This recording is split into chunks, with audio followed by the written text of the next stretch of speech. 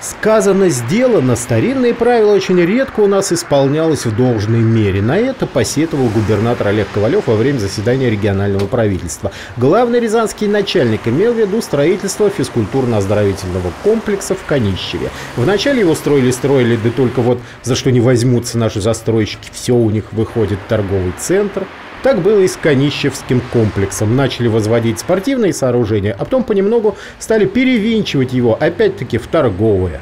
Мы э, вели долго работу с э, компанией-застройщиком, э, и в результате родилось соглашение между городской администрацией и компанией-застройщиком о том, что они в августе, к сентябрю этого года построят физкультурно-спортивный комплекс. Была выделена земля рядом с, э, там недалеко от этого же торгового центра, построят физкультурно-спортивный комплекс до сентября этого года.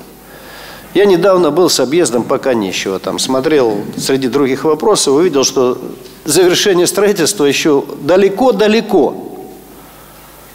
То есть свои обязательства застройщик не выполнил.